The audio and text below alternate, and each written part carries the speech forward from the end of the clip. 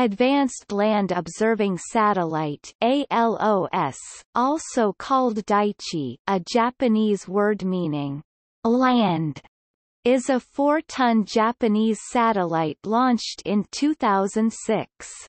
After five years of service, the satellite lost power and ceased communication with Earth, but remains in orbit.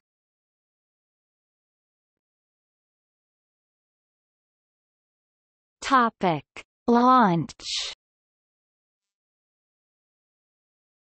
ALOS was launched from Tanegashima, Japan, on 24 January 2006 by HIIA rocket No. 8. The launch had been delayed three times by weather and sensor problems.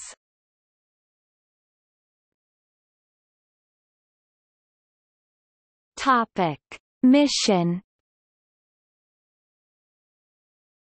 The satellite contained three sensors that were used for cartography and disaster monitoring of Asia and the Pacific. The Japan Aerospace Exploration Agency JAXA initially hoped to be able to launch the successor to ALOS during 2011, but this plan did not materialize.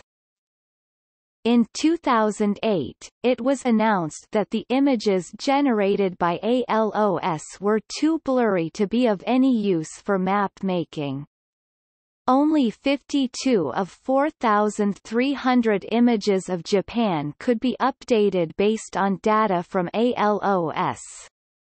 Then, JAXA announced the problem was solved. ALOS was used to analyze several disaster sites.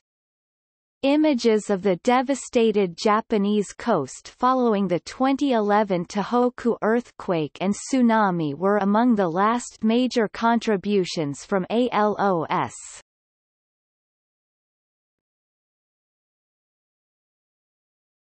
Topic: Decommissioning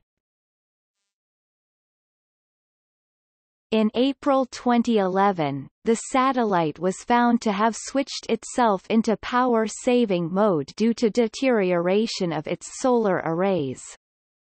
Technicians could no longer confirm that any power was being generated.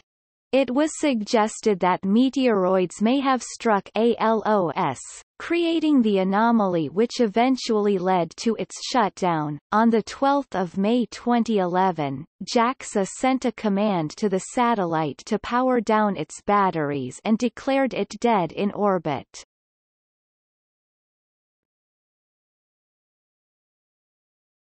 Topic. See also 2006 in spaceflight.